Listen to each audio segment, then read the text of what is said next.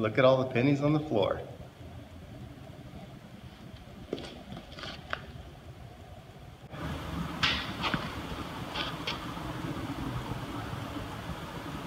My, my uncle, when he was a kid, he remembers during the homecoming parade looking up here and seeing prisoners looking out these windows watching the parade because there, there were cells along here originally.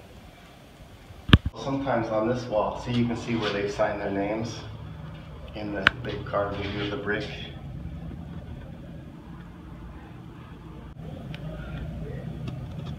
Now these are the solitary confinement cells. I don't know what you had to do to get into the solitary confinement cells, but they're not very big.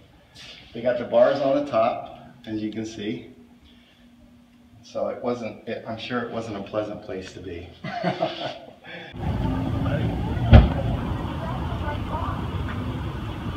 I got no.